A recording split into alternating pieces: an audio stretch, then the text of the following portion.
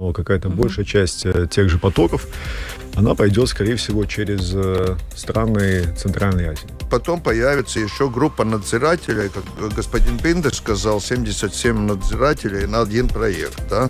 Ну, географически это невозможно. Если у вас рельсы идут с востока на запад, и если восток закрыт, то вы эти рельсы не сможете использовать для того, чтобы ну, грубо говоря, с юга на север потоков особых нет. Latvijas dzelzceļam, es teiktu, no tā krava apjoma, kurš šobrīd viņi ved, pusi sastāvda tieši kravas no Krievijas. Ja, tas ir ievērojams, ievērojams skaitlis, un tā ir ietekme uz mūsu budžetu, bet šī ir izvēle, kuru mums ir jāizdara.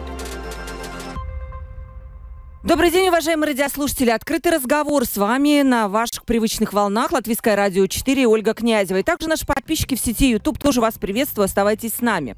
Несмотря на то, что два года уже, ну скоро два года продолжается война в Украине, развязанная Россией, все равно экономические связи как Европы, так и Латвии, они не прерваны до конца. Да, из России газ больше к нам не поступает. И под запрет попали многие товары, многие латвийские предприятия сами отказались от сотрудничества сотрудничества с Россией, потому что неэтично в том числе. Но, несмотря на это, импорт из России поступает в Латвию, транзитные грузы идут, и наши предприятия также свои товары отправляют на российский рынок. У меня будет статистика, я скажу, сколько, каков, какова ситуация сегодня в цифрах, немножко попозже. И вопрос у нас такой в передаче, нужно ли прекращать сотрудничество полностью с Россией, с нашим соседом-агрессором, либо сделать это невозможно. Есть ли планы ввести военный налог, так называемый, поможет ли это, либо просто бизнес, он такой, знаете, гибкий, он начнет э, какими-то обходными путями искать другие безналоговые варианты. Одним словом, тема торговые связи с Россией. Нужно ли их разорвать полностью? Возможно ли это? Янис Виттенбергс, депутат 14-го Сейма, член Народохозяйственной комиссии, экс-министр экономики. Лабден. Свеки. Добрый день. Вячеслав Домбровский, экономист и политик. Вячеслав тоже экс-министр экономики. Что ж так Добрый Уж день. так, тоже, да. Слушайте, два экс-министра экономики. Могли бы поспорить, кстати, про экономику сейчас. Но вот, может быть, так и получится. Иварс Энинш, председатель Совета Ассоциации предприятий машиностроения и металлообработки. Здравствуйте. Добрый. И у нас сегодня переводчик в студии, который будет переводить Яниса Виттенбергса, Райво Ютанс. Здравствуйте, Райво. И телефон прямого эфира 28040424. Пишите, пожалуйста, вопросы по теме прошу задавать или реплики какие-то. Мы адресуем нашим гостям. Итак, 400 латвийских предприятий продолжают экспортировать свои товары в Россию, чуть более 200 в Беларусь. Да, количество таких предприятий, если мы посмотрим ситуацию там год, годом ранее, оно снизилось. 102 миллиона евро – это стоимость экспорта в Россию, 54 миллиона евро – стоимость импорта. Вроде бы немного. Господин Виттеберс, как вы оцениваете эти цифры? Почему до сих пор есть предприятия, которые, несмотря на войну, они все-все прекрасно понимают, не надо там им говорить, что это плохо там и так далее. Они продолжают работать с, с России, они что, не выживут без этого рынка? Почему они остались? Э, kad sākās kara darbība, es biju ekonomikas ministrs, un es atceros arī e, pašā kara sākumā man bija saruna ar e, Latvijas e, lielākajiem uzņēmējiem. E, то pārstāvošajām организациям. Когда начались военные действия, в то время я занимал пост министра, и у меня были уже разговоры с предпринимателями. Mm-hmm. Un es atceros, ka eh, valdīja tāds vienots viedoklis par to, ka ir jāpārtrauc sadarbība ar Krieviju un Baltkrieviju. Un, uh, lai saprastu, tad eh, tie uzņēmumi, kur eksportēja uz Krieviju, agrāk tur bija gandrīz 1000, ja tad tagad ir palikuši 400, importētāji bija pat vairāk kā 1200, ja, un ir palikuši 300. Ja, tā kā jāsaka paldies tiem uzņēmējiem, kur ir atraduši citas sadarbības iespējas un ar agresoru valstīm vairs nestrādā. И вначале бытовало мнение, или это мнение превосходило, что надо прекратить это сотрудничество. И мы можем здесь отметить то, что уже теперь Количество. И количество, количество э, импорта, оно уже сокращено, сокращено с 2000, 1200 э, до цифры 3, 300. Да, 300. И экспортеров тоже, господин министр сказал, что тоже произошло сокращение, да, довольно серьезное. Но Bet... мы... Da. Jā, es gribētu to paskaidrot, nu, bet ir palikušas uh, dažādas nozares, kuras turpina strādāt. Ja, es teiktu, ka pēdējos mēnešos tas apjoms uzņēmējiem ir diezgan stabils. Jāsaka, ka pat ir parādījušies tādi uzņēmumi, kurš šos apstākļus izmanto, ja, izmanto lai uh, nopelnītu. Un te var minēt gan, gan uh, dzērienu alkohols, ja tad uh, Latvijas uzņēmēji ir uh, kļuvuši par uh, lielākajiem šampaniešu tirgotājiem. Ja kaut kā zinām, ka šampanieši šeit uh, нетек рожот. Он вина торготаем, он еще, я хотел бы сказать, вермут, да, там не вермут, а виски, по-моему, тоже мы стали какими-то одними из крупнейших экспортеров. Но об этом мы поговорим позже, там есть свои нюансы, да. Ну и также сохранились предприятия, которые используют эти возможности, они э, продолжают сотрудничество. И, например, э, э, касается винопроизводства и также шампанского. Да. Jā, un tad nu, mums, nu, es teiktu, ir nepieciešams gan, gan iedzīvotājiem, gan arī uh, politiķiem panākt to, ka arī šie vēl palikušie uzņēmēji pārtrauc šo sadarbību un pārtrauc atbalstīt šo ну, полностью кар финансēšanu. Полностью превратить. То есть вы хотите ноль иметь экспортеров и импортеров? Там vajadzētu būt mērķim, jā. Это да. должна была быть цель. Мы хотим полностью предотвратить или закончить сотрудничество с Россией. До нуля, да. До нуля. Возможно ли это, Вячеслав? До нуля, чтобы мы, у нас вообще не было никаких связей, вообще ничего. Вот то, что сказал э, господин Виттенбергс. Ну, во-первых, э, если мы говорим о такой прямой э, связи на бумагах с Россией, то, конечно же, это возможно.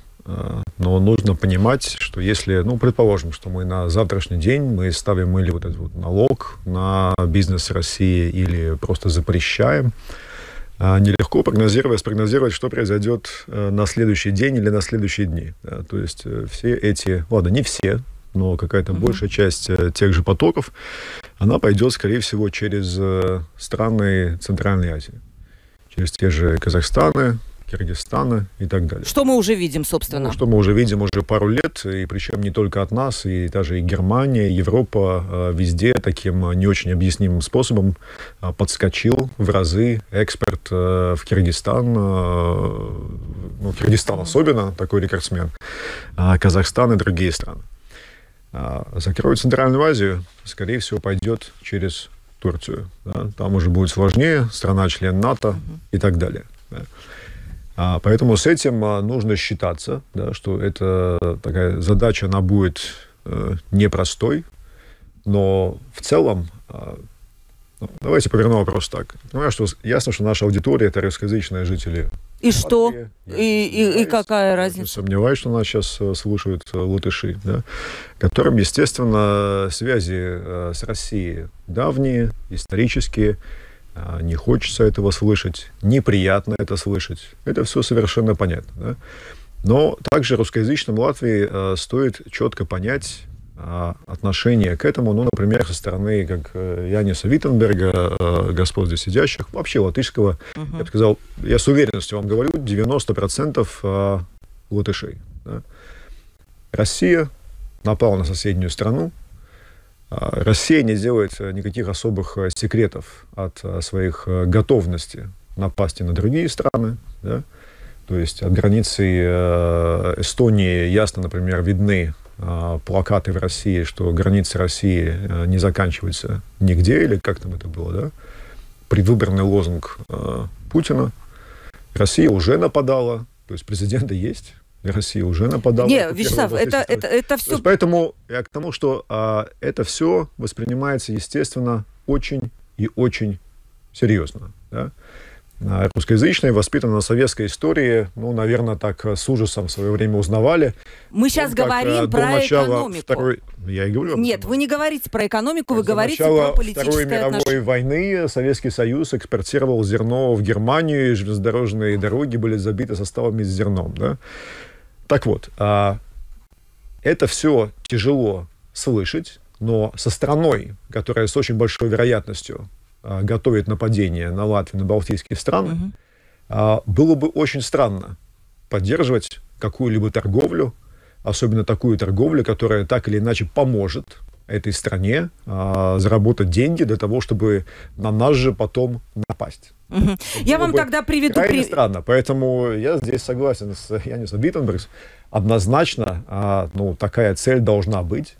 Одновременно мы должны делать таким образом, чтобы, ну, скажем так, не нанести крайне сильный, несоразмерный, внезапный удар по своей же экономике. Да? То есть я думаю, что людям а, должно быть да, скажем, дана возможность со временем адап- адаптироваться. Ну, достаточно быстро. Да?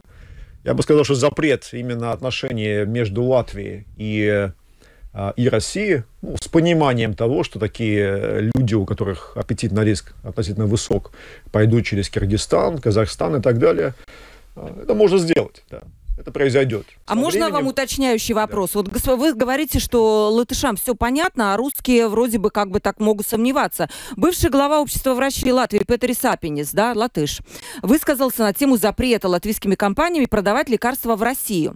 И он сказал так, если мы запретим это делать только латвийским компаниям, а на секундочку Гриндекса, по-моему, в прошлом году 70 миллионов оборот был с Россией, да, через свою дочернюю компанию, э, то это будет выглядеть как саботаж латвийской экономики экономики считает а, Апенис, прекратив экспорт в Россию, Гриндекс и Уланфарм просто прекратят свою деятельность, уволят несколько тысяч сотрудников и перестанут платить налоги латвийскому государству. То есть он не смотрит на так, как вы, на политическую, просто какие-то политические отношения. Я не думаю, что Апенис вдруг выступает за войну с Россией. Но он понимает, и у нас, кстати, эксперты были тоже в студии латыши, которые говорят, что это будет угроза для латвийской экономики. Господин Апенис будет в этой студии, вы ему задайте вопрос, а, как в таком случае, господин Апенис, будет выглядеть то, что мы продолжим, скажем, ну, например, продолжим покупать российский газ, платить России. Конкретный деньги. пример, не надо про газ. Здесь про лекарства. Ну, какая разница? Какая большая разница? Э, лекарства? Один, один, закон, э, один закон, одни правила для всех. Да? То есть, если мы говорим газу нет, почему лекарствам да?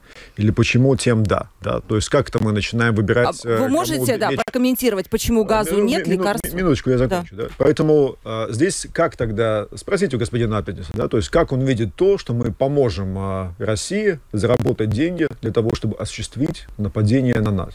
У господина Апниса есть на этот вопрос? У, у, у него есть а, забота а, или как бы чаяние Хорошо. про латвийские Тогда, предприятия, да, да, да. про Теперь местную экономику. Давайте перейдем а, к заботе. Да. Забота должна быть, но забота должна быть о том, чтобы думать, как помочь а, тем людям переориентироваться на... Это у меня есть этот вопрос, да. Давайте дадим вам высказаться. Вы видите, уже горячо стало у нас в студии. Как вы считаете? Господин Витальевич, я вижу, что вы хотите Апениса прокомментировать. Давайте, да, дадим слово. Я представляю предпринимателей. И, в принципе, вот этот вопрос, который ну, вы задавали от э, формации, да, такой вопрос стоял даже, даже более сильно над нашей отраслью, mm. да, поскольку мы представляем металлоемкую производство, да, где 25 тысяч работающих, оборот был в то время немножко под 2 миллиарда. Много. Да, и, и, и нам сказали, все, ну как, мы попали под первый, из самых первых пакетов, да, ограничений, да, даже, даже мы не могли получать большие объемы, которые у нас были заморожены в Латвии и Прибалтике, да, из портов, нам сказали, все, ваша отрасль рухнет. Да, мы вышли из этого, первые выходили там через два месяца, отстающие через три месяца, да, мы вышли. И сейчас мы достигли оборота 2,5 миллиарда. Без российского рынка полностью? Да. А ну, что РЭР... Естественно, можно там что-то поймать, да, если мы тщательно там пройдем, но там надо очень аккуратно проходить, поскольку под машинами там и оборудование, и э, транспортные средства, ну там игра с кодами, да, всякое может А да. тоже смог найти новые? Э, тяжело, да. тоже, тоже перестраивался, и э, мы активно также со стороны ассоциации действовали, да, чтобы чтоб эти новые рынки завоевать, и э, чтобы предприниматели нашли выход из этой ситуации.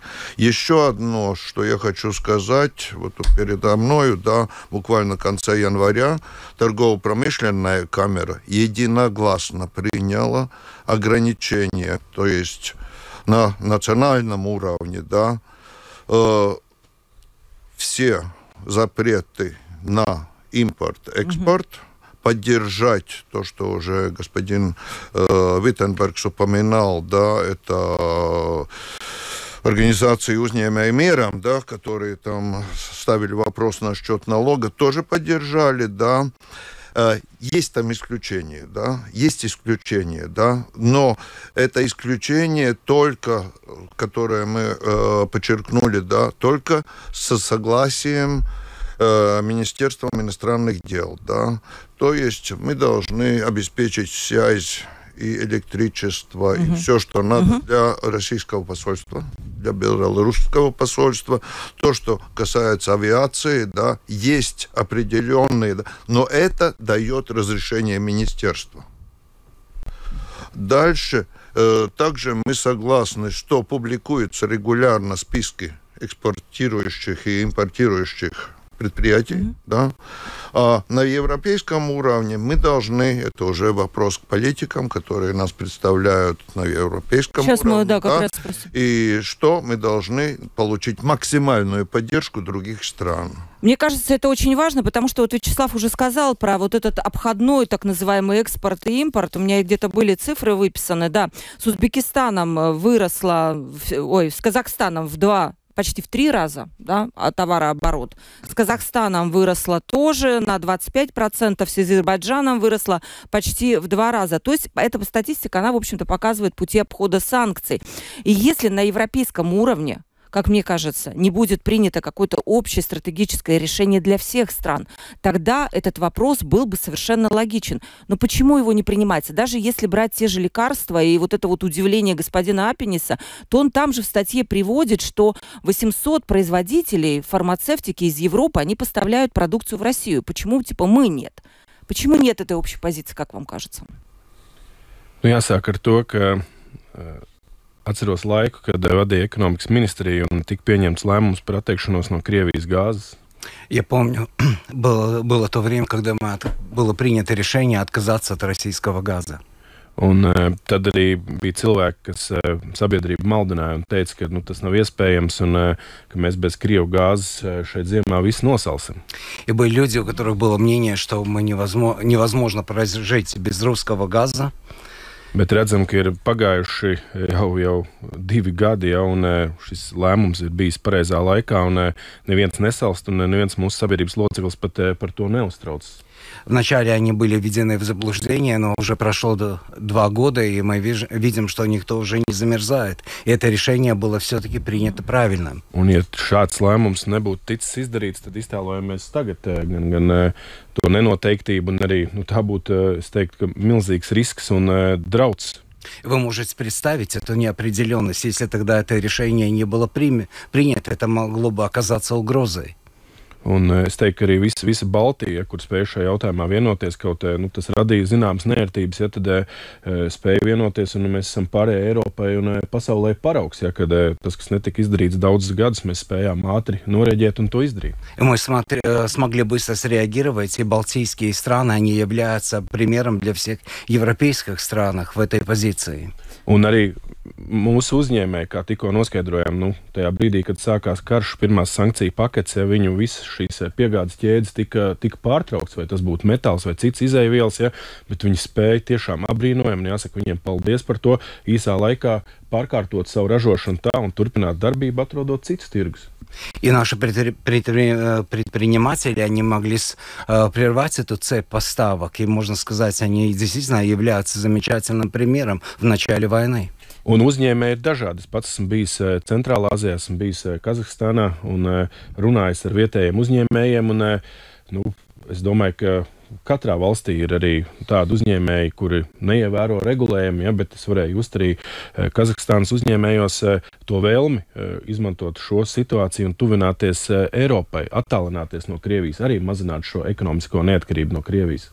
У меня была возможность встретиться с многими предпринимателями и в Казахстане, и в Центральной Азии. Они разные по характеру, но среди них всегда можно найти, которые могут занять твердую позицию и отказаться от сотрудничества с Россией. Un uh, bija, bija uzņēmēji, kur teica, jā, mums bija uh, iepriekš, pirms kara sākšanās, uh, sadarbība, un mēs pirkām dažādas izēvielas un, un preces Krievijā, bet tagad mēs meklējam citas iespējas. Tāpat arī ir lieli pasaules uzņēmēji, kur no Krievijas savus ražotnes pārvirza uz Centrālā Aziju, jo tur ir pieejams darba spēks. Ja, arī, arī šis ir jāņem vērā kā aspekts.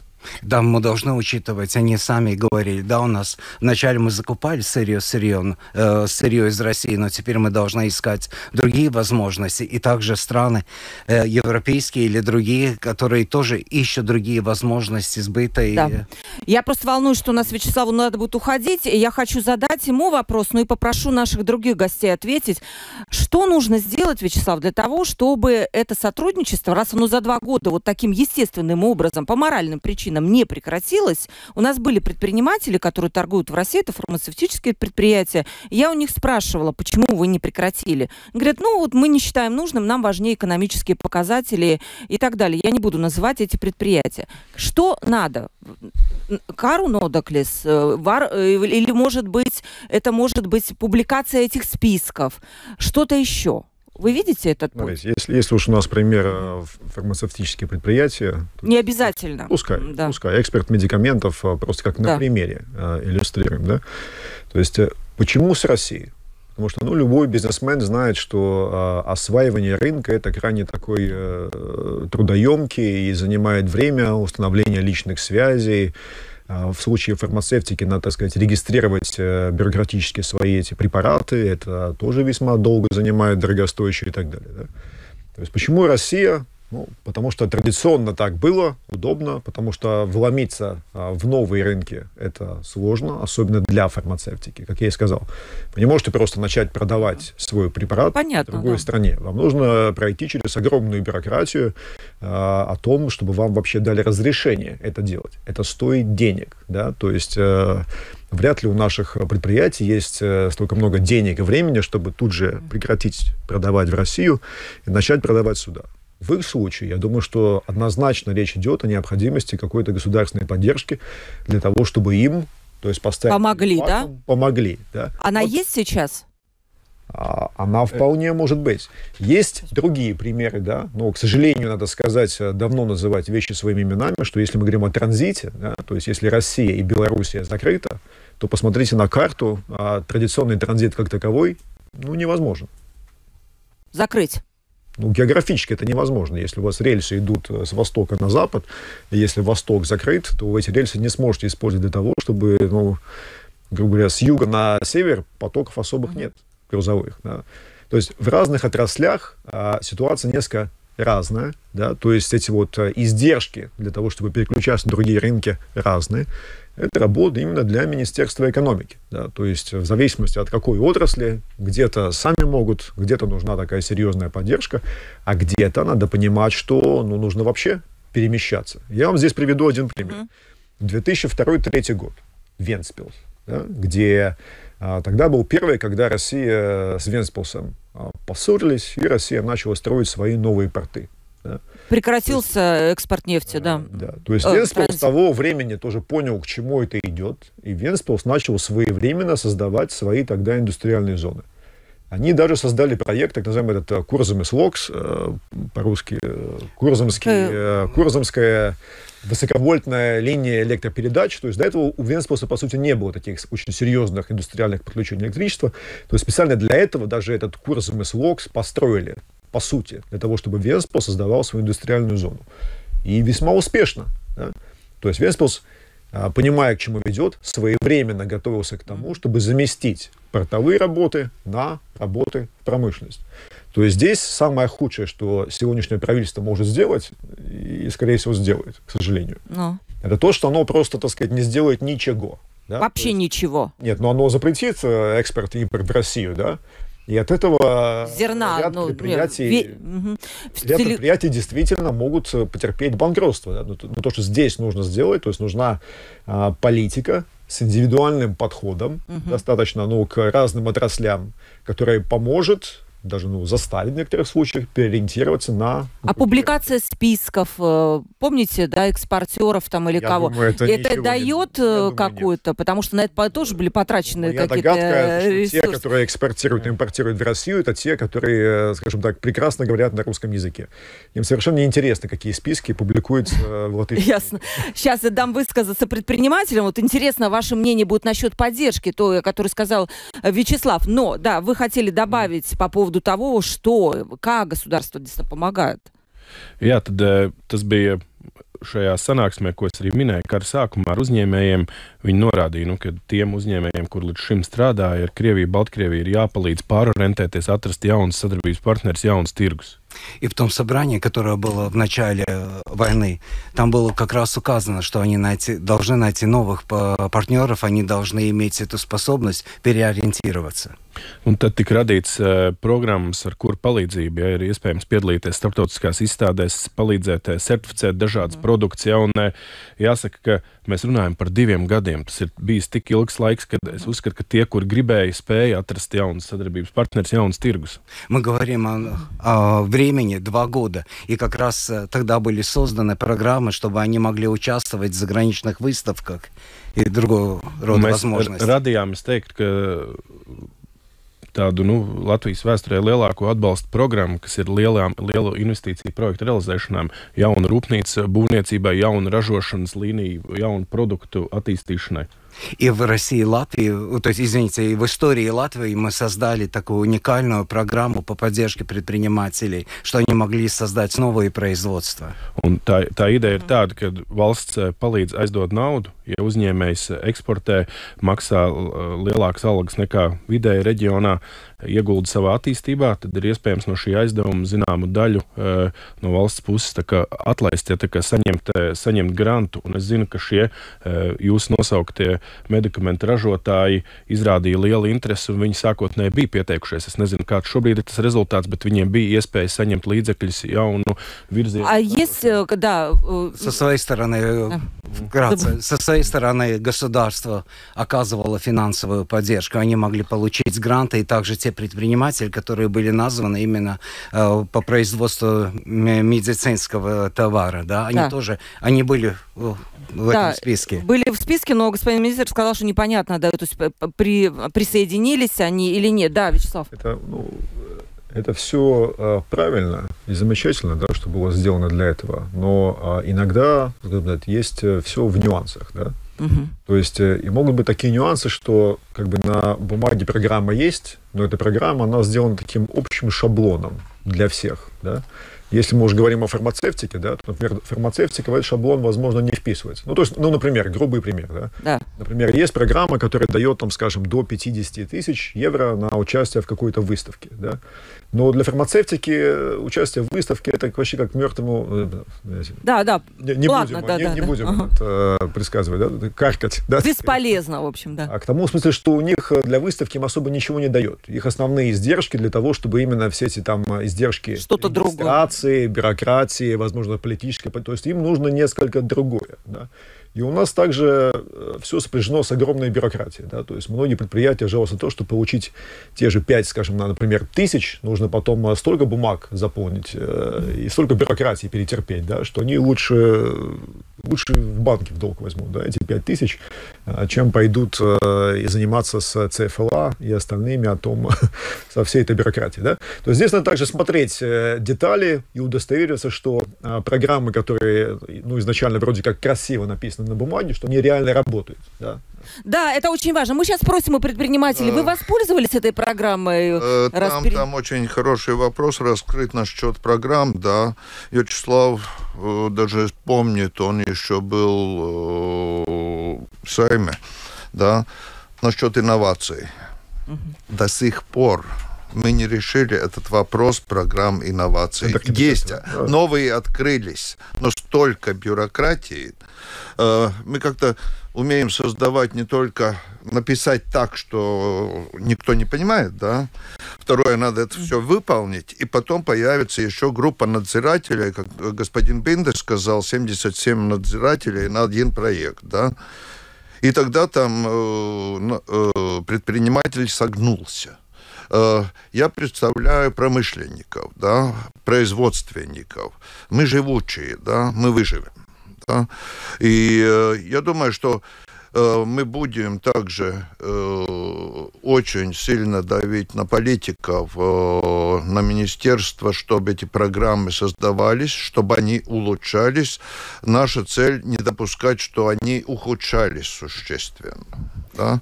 И э, примерно насчет э, тот же поддержка экспорту, да, Программа «Принцип» в прошлом году завершилась. Да? И э, новая как-то не открывается. Даже бюджетные средства 6 миллионов, которые парламент проголосовал на поддержку экспорту. Мы до сих пор, сейчас уже февраль, мы не знаем, как мы будем поддерживать экспорт этими деньгами. Мы задавали этот вопрос министру экономики. Сейчас он опять что-то дает обратно промышленно-торговой камере, да, что-то опять будем советоваться. Экспортные деньги нужны были в конце прошлого года, когда мы создавали экспортные планы. Куда идти, как идти, зарезервировать место, договориться. Да? На этот момент еще один-два месяца, да, ничего не решить, и мы этот год протеряем. Это реальность. А что насчет программы переориентации рынков? Вы конкретно в вашей отрасли пользовались этой программой? Ваше а, предприятие имеется в виду? Пользовались, да. Помогла она вам? Но сказать, что она очень объемно помогла, да, не можем, да. Но а, опять это мы возвращаемся к тому, что предприниматель особенно производственник, очень считает деньги и потерю времени, да. Может быть, mm-hmm. мы, э, ну, такой же тоже пример, да, когда война началась, да, и мы попали под санкции, мы как ассоциация начинали э, активно с нашей стороны тоже искать способы, как, как э, решать эти вопросы, да.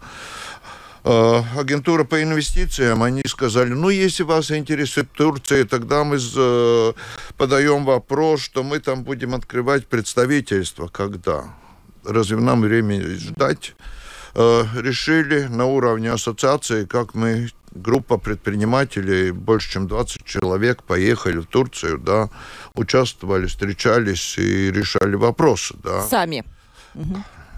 Да, хорошо. Вот это очень э, э, полезный, мне кажется, совет, не совет, а мнение от предпринимателя. Господин э, Виттенбергс, вам вопрос. Господин э, Домбровский, который уже ушел, я еще раз представлю, экономист и политик был Вячеслав Домбровский, который уже ушел из студии. Что делать? налог на военный налог, может быть, улучшить программу, на которую вот предприниматели так жалуются. Что, списки новые какие-то придумать? Как вы видите решение этой ситуации? Manuprāt, šis saraksts ar uzņēmējiem, kur, kur, kur ir iespējams redzēt, kur turpina sadarbība ar Krievijas un Baltkrievijas uzņēmējiem, ir ļoti svarīgs. Я считаю, что этот список очень важный, где мы видим тех предпринимателей, которые продолжают сотрудничество с Россией. Jo ir ļoti svarīgi, ka mūsu iedzīvotāji redz šeit uz vietas arī Latvijā, kur uzņēmēji turpina strādāt, kuri iedzīvojas no, no šiem apstākļiem. Ja, jo, ja virkne uzņēmēji pārtrauc sadarbību, aiziet no šiem tirgiem, tad tā ir būtībā monopola situācija, kad ir iespēja tiešām eh, nopelnīt eh, vairāk nekā tas būtu normālos apstākļos. Un tas nav pieļaujami, jo katrs iedzīvotājs ar, eh, izdara savu izvēli, vai nu pērkot šo ražotāju produktus veikalos vai nē. Tā kā iedzīvotājs ir pirmai, pirmais, kuram ir jāizdara šī izvēle šobrīd. И житель на первом месте, потому что он должен здесь э, сделать выбор, и для него это важно, для него это важно, какую он продукцию будет покупать, чтобы не создалась ситуация монополия. Я вот думаю, что я хочу тут немножко uh-huh. э, залезть, да. Э, это игра с флажками в магазинах, да, я думаю, что это не целевая задача, да. Целевая задача – качественный список, с качественными данными. О чем был спор в прошлом году, когда пошли эти первые публикации. Список был да. качественный, да? Там попали даже случайные какие-то фирмы, которые что-то там, Jā, какой-то товар возвращали. Es piekrītu, bet да? nu, to, to visu var uh, labot ja, un, un pilnveidot metodoloģijā. Labi, tur centrālā statistikas pārvalde bija pieļāvusi kādu kļūdu, bet ir pagājis tik ilgs laiks. Nu, visu laiku sola ekonomikas ministrija, ka atkal būs šis saraksts būs pieejams, bet viņš nav pieejams. Es uzskatu, ka mūsu iedzīvotājiem ir jāzina, kuri uzņēmumi no Latvijas vēl aizvien turpina sadarboties ar agresoru valstīm un finansēt karu. Я считаю, что наши жители должны знать список тех предприятий, которые продолжают сотрудничать с Россией. Э, с Россией. Конечно, ЦСУ, Центральное статистическое управление, может допускать ошибки, это все можно изменить, но мы должны знать те предприятия. предприятия. Ну, будем надеяться, что новый руководитель э, управления статистикой, да, ну, решит этот вопрос, да. Я думаю, что это технический вопрос, да, Хорошо. Это, это даже не политический вопрос. Э, да, нет, качестве... политический нет. Да, э, Ивар, с... все-таки это политический вопрос. Да, начнем с этого, и, по-моему, это сейчас пока отменили. Господину Виттенбергсу вопрос. В этом списке, который, возможно, появится, я так понимаю, раз уж что было все честно, должна быть латвийская железная дорога, которая перевозит, например, перевозила в прошлом году российское зерно и вообще завязана на российском и белорусском рынке. Это будет справедливо, как вам кажется? кажется? Nu, laikā, kad es biju satiksmes ministrs, tas ir pagājušā gada pavasaris, mēs bijām sagatavojuši Finanšu ministrijai jau informatīvu ziņojumu ar dažādiem e, sadarbības modeļiem. Vai... Nu, в прошлом году, когда я еще занимал пост министра, мы уже подготовили сообщение министерству сообщений ko, ko maksātu, ja, vai cik daudz līdzekļu būtu nepieciešami, ja Latvijas dzelzceļš vairs nevadātu Krievijas kravas. Ja, dažādi citi scenāriji. Tā kā, e, pēc tam sekoja sarunas ar Finanšu ministriju, bet nu, ir jāatzīst diezgan skaidri, ka Latvijas dzelzceļš arī nespēs uh, uzturēt. Uh, dzelzceļa infrastruktūru šeit, Latvijā, gan pasažieru pārvadājumiem, gan kravu pārvadājumiem, tādā gadījumā bez valsts atbalsta. Ja, tā, tas ir jāsaprot, un šāds solis ir, ir valdībai jāspēr. И, конечно, мы уже обсуждали это, эти, эти решения с финансовой министром. И, конечно, для Латвийской железной дороги придется самостоятельно организовать перевозку и, и грузов, и также э, пассажир, перевозку пассажиров. И такое решение придется государству принять. Bet, lai mēs kļūtu par uh, ekonomiski neatkarīgu valsti, līdzīgi kā mēs pieņēmām lēmumu par, par energoresursiem, gāzi un elektrību, šis ir teikt, nākamais svarīgākais posms, lai kļūtu uh, neatkarīgi arī dzelzceļa pārvadājumos. Это наш следующий шаг после того, как мы отказались от покупки газа. Мы должны в железнодорожных э, перевозках стать также независимыми. Как это сделала Эстония? Так. Nu, daļai, Tāpat kā Ega, jā, jā, Igaunijā. Jā, daļai, jo, Čistīčina. jo Igaunijā e, šobrīd e, šo pakalpojumu sniedz e, privātie pārvadātāji, ja tā kā aizvien tur sadarbība notiek, bet Igaunijā vēsturiski ir samazināts arī šis tranzīta apjoms ar Krieviju, un šis tranzīta bizness nav tik liela industrija joma, kāds ir Latvijā.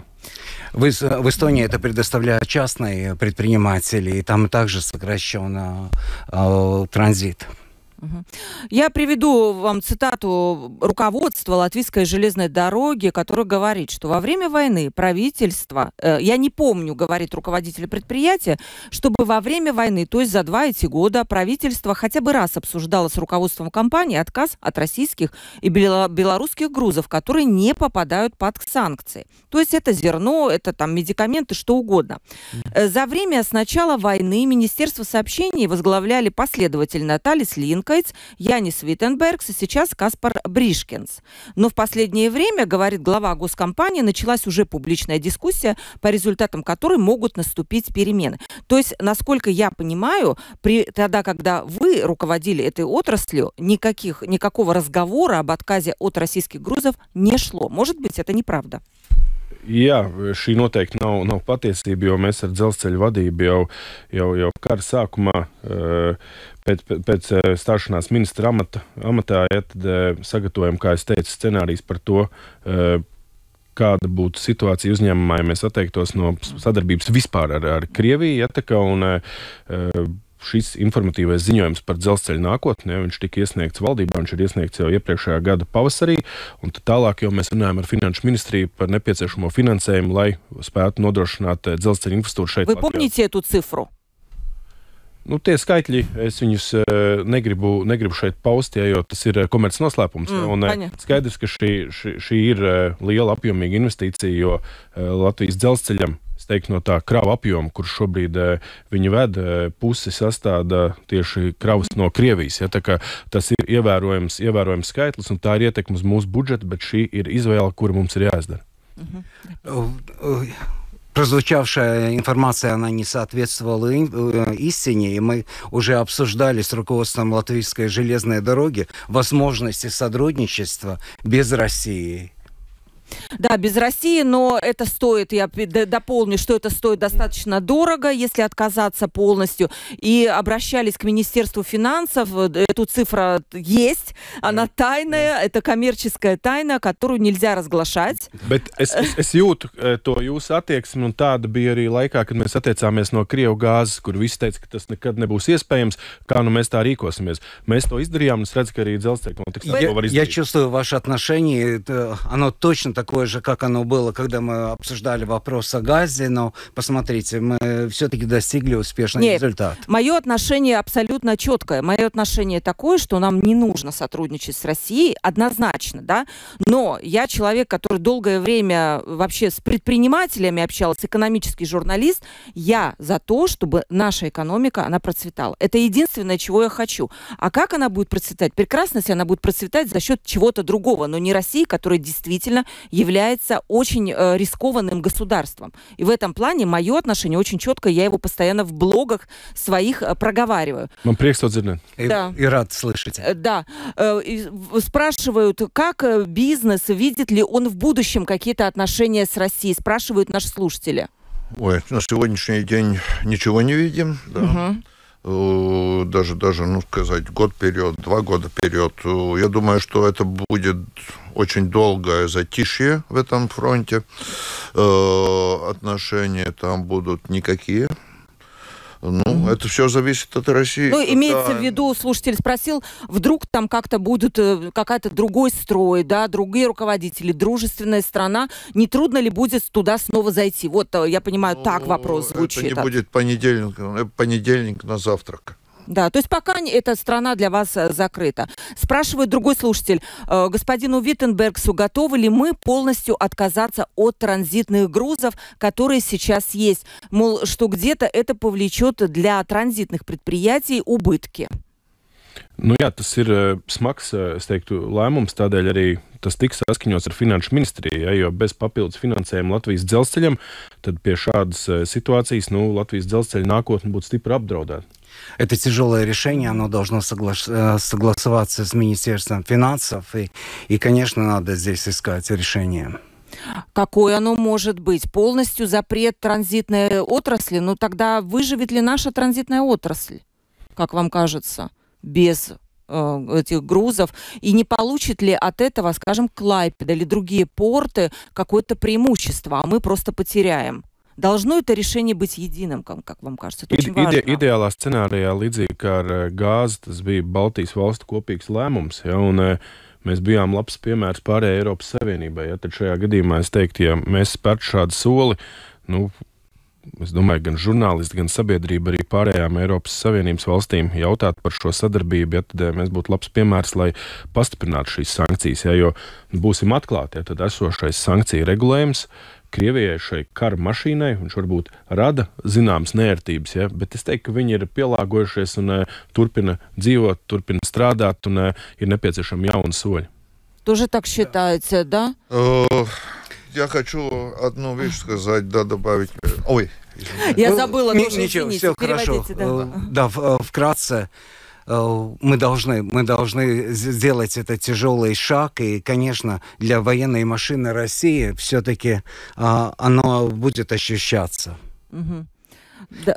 Так как были единые при вопросе с газом, и, и здесь мы должны показать свою единую точку. Ну да, и было бы хорошо еще тоже дополню, чтобы все-таки Европа была едина в этом вопросе, но почему она не едина? Сейчас я вам дам слово, как вам кажется? Почему Европа настолько, ну, не едина, и какие-то вещи простые, которые мы сегодня обсуждаем в студии, э, вот с господином Виттенбергсом и господин Домбровский был тоже такого же мнения, не готова решить? Чем дальше от линии фронта, тем а, труднее понятно. понимать. Но э, вы не почувствовали, что я пытался сказать еще один аспект. Да? Да. Э, предприниматели на уровне разных форумов, mm-hmm. на уровне предпринима- предпринимательских организаций тоже мы даем эту информацию, и это мнение меняется. Да? Например, сейчас э, господин Ростовский, вице-президент Европейской торгово-промышленной э, камеры, да, так что это, это существенная роль, да, где тоже эта информация подается политикам, которые уже получают давление и со стороны предпринимателей. То есть предприниматели как послы такие да, вот этого мнения, да, которое где-то на форумах звучит, прислушиваются к вам, послам? Э, ну, то, что сотрудничество всегда можно улучшать, ну, угу. это, это не да. вопрос, да, так что мы должны э, не только говорить, но друг друга услышать. Господин Виттенбергс, не кажется ли вам, что экономические связи, делаю я вывод, подводя к концу передачи, несмотря вот на эту жуткую агрессию, на войну, которая выглядит через два года, ну вот когда это закончится уже, они рвутся сложнее, чем дипломатические, политические связи. Вот когда они укореняются где-то, то их очень тяжело разорвать nесмотря ни на что.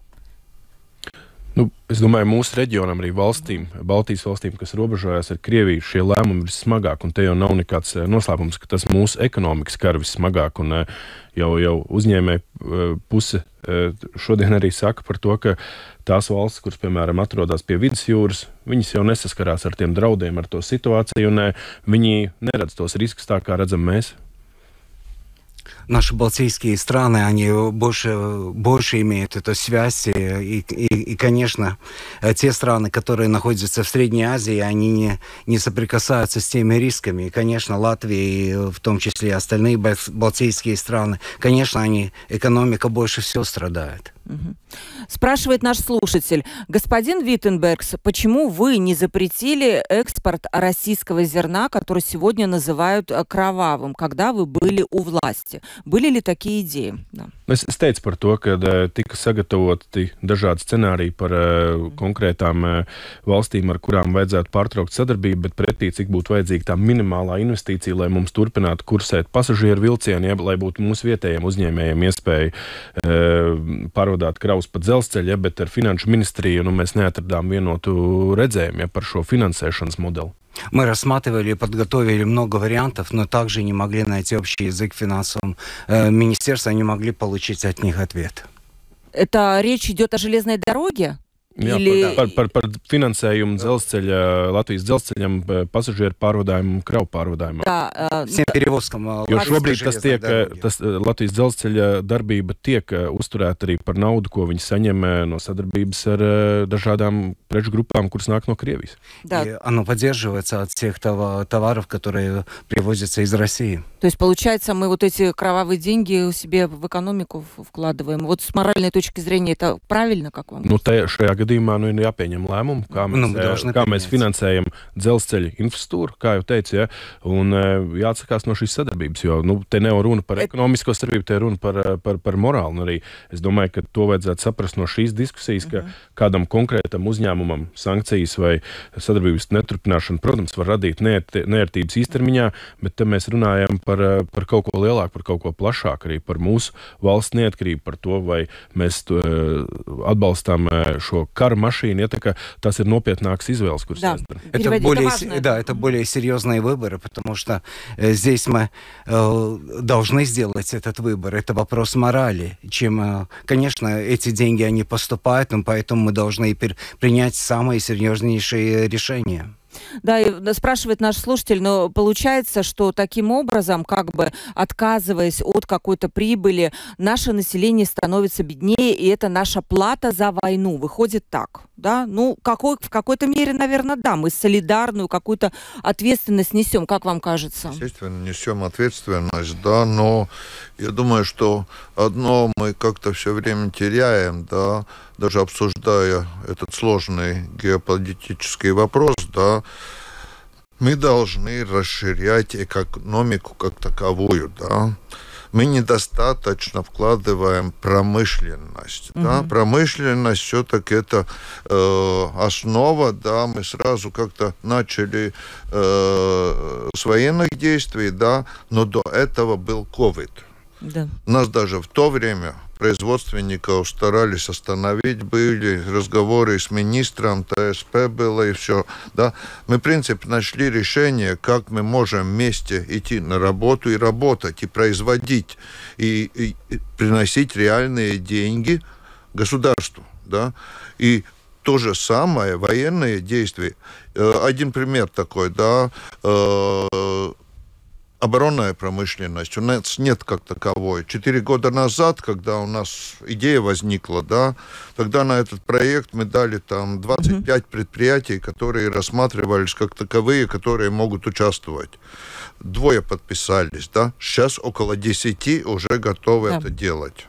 Так что... Сейчас, да, оборонная промышленность – это новое направление, есть э, целая отрасль уже. Я надеюсь, что государство тоже поможет. Очень важное замечание про э, развитие промышленности, но это абсолютно отдельная тема передачи. Я бы с удовольствием встретилась, позвала вот крупные промышленные предприятия, чтобы поговорить об этом, потому что у нас же принята вроде бы концепция развития промышленности до какого-то там года. Но уж насколько она работает, это судить нашим предприятиям. Спасибо вам за передачу пишет Ева, я сама латышка и слушала Латвийское радио 4. Сегодня у вас очень интересная программа и много хороших гостей. Ну вот, спасибо вам, дорогие друзья. Вот на этом я, наверное, заканчиваю. Еще раз обязательно позову наших гостей для обсуждения наших промышленных проблем, да, что у нас в Латвии, что нужно делать для того, чтобы нашей промышленности, которая не связана с Россией, было бы больше, да. Еще раз подчеркиваю вам, господин Виттенберг, свое отношение, потому что вы в нем почему-то засомневались.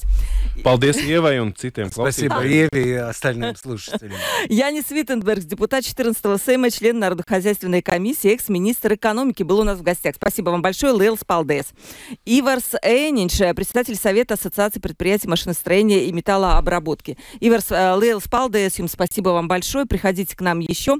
И спасибо нашему переводчику Райва Ютансу, который переводил сегодня господина Виттенбергса. Спасибо. Да. Провела передачу Ольга Князева, продюсер выпуска Валентина Артеменко и оператор прямого эфира Регина Безня. Завтра в 12.10 э, подключайтесь, будет открытый разговор. Ну и не забывайте, наши подписчики в YouTube, подписывайтесь. И также на э, крупных платформах, подкастах тоже можно найти нашу передачу. Всем пока.